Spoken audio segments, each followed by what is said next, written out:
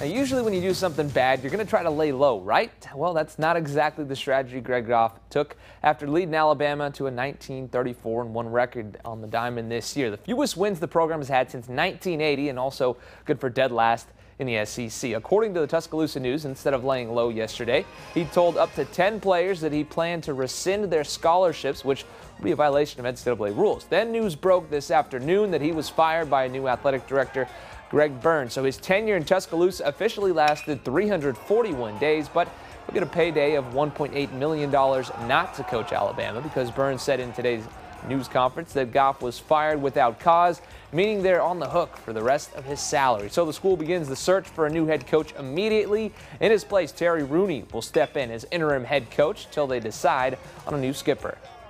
Uh, long term, the goal is whoever the next coach is, hopefully to be here for many, many years and give us stability in, in what we do. I think that's a very important facet for us to have long term success as a baseball program. And uh, that will be the goal in our hiring process to find somebody that gives us a great opportunity to do that.